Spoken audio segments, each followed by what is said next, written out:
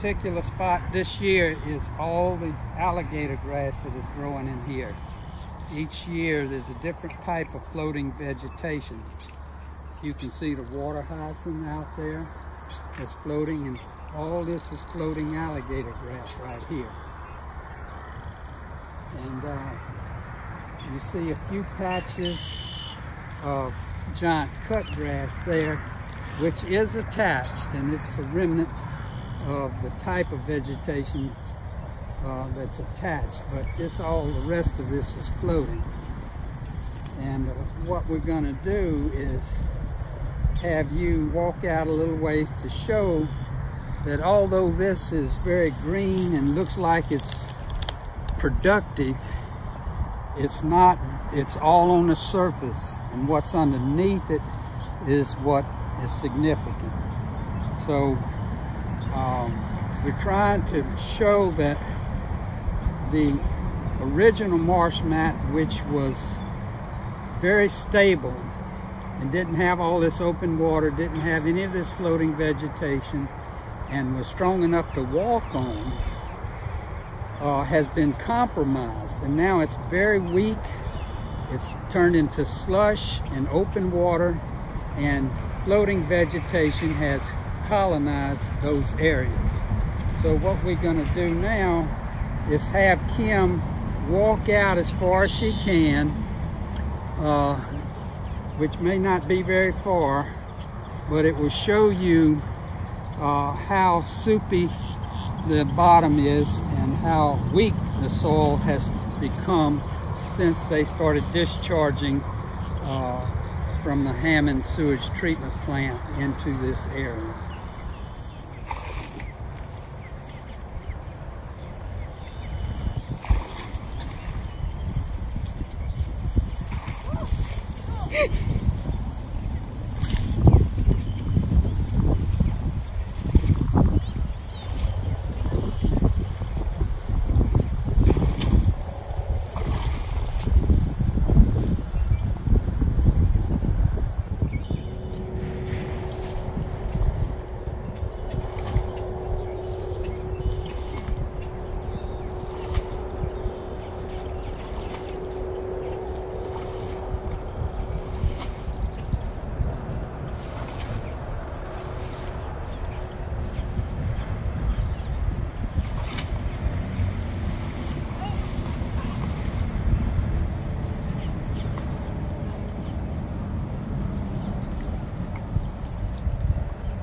She broke through, you see. You broke through all that. You can see how deep it is.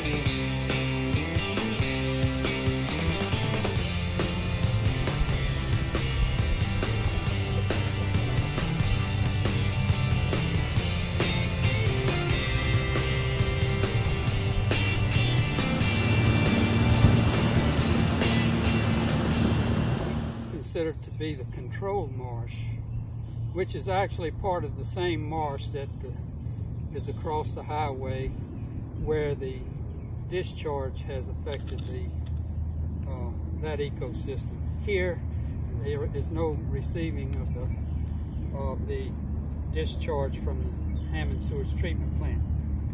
But in this marsh, the foundation is still very much intact it's, a, uh, it's over a thousand years old. This is Panicum hemitomon, which is freshwater marsh grass. And it is the best vegetation for holding a marsh together. Its root system's like barbed wire. And uh, it's now about 30 centimeters tall. And it will get uh, this tall by the end of the summer and lay over.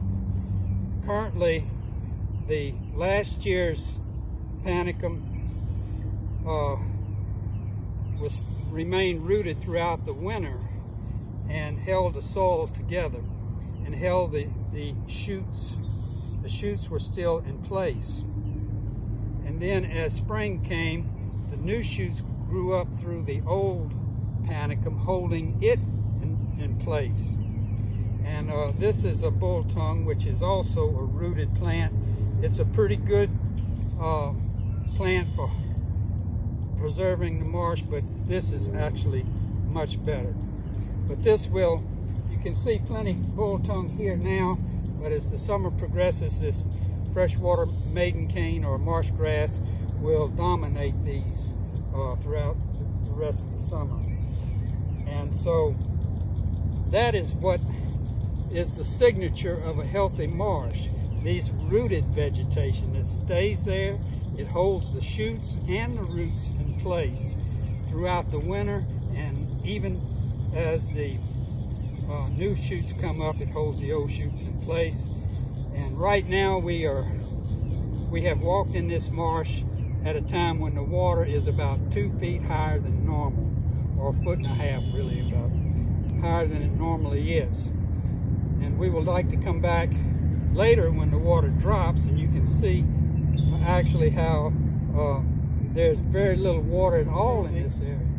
Even in high water, you can walk out here without much difficulty. And this is hot weather, so if you can do that in hot weather, uh, that's pretty good. Uh, there's no way you could walk this as far out into that the discharge marsh over there like we have walked out into this marsh. So you don't see any floating vegetation out here. It's all rooted.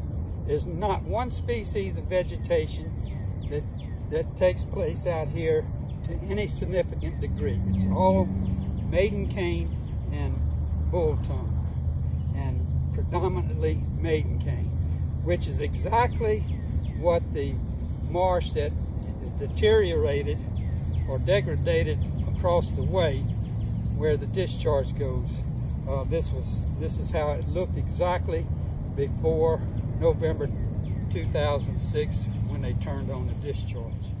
That marsh over there was like this and it turned into something very different.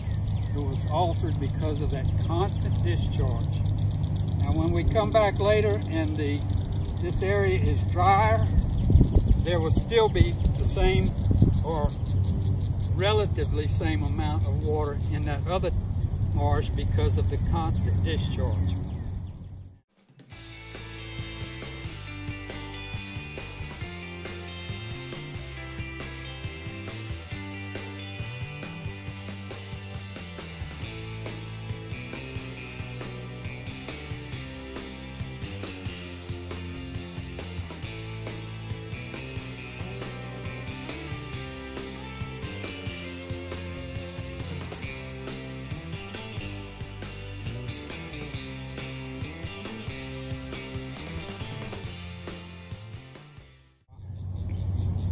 This is the signature of what people should be considering, not just because something is green, but it has to be green and rooted, and it has to be able to stay rooted during the rainy winter season to hold things together. Um, so I'm just trying to, to give an overview of the dynamics of what is really important to consider when evaluating the uh, health of a freshwater marsh. It is the type of plant that's growing there and it's the consistency of that plant over a long period of time.